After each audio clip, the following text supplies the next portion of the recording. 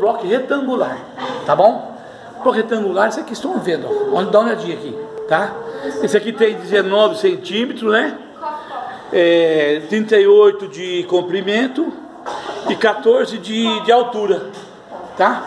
Isso aqui é para calcular o que? Calcular quantos metros cúbicos, né? De produto tem nesse, nesse bloco retangular, né? Você vê que o, o bloco retangular também, ó, ele tem uma aresta, que é essa linha aqui, ó. E tem o vértice, que é esse pontinho aqui, ó.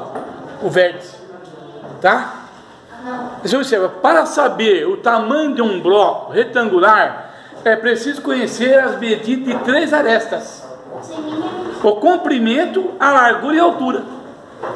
Essas são as três dimensões do bloco, né? O comprimento, a altura e a largura. Tá? Olha aí, ó. O comprimento, a altura e a largura, né? Devido às três dimensões, dizendo que o bloco retangular é uma figura geométrica tridimensional, também podemos dizer que é uma figura geométrica espacial, ao contrário de suas faces retangulares, que são figuras planas.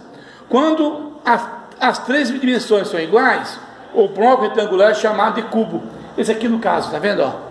As três dimensões são iguais, a altura, o comprimento e a largura. Então isso aqui é o cubo, tá?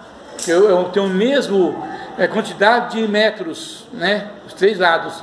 Esse aqui é retangular, porque a sua a aresta, que é o comprimento, a largura e a figura, é, tem valores diferentes. Esse que tem 38 de comprimento, né?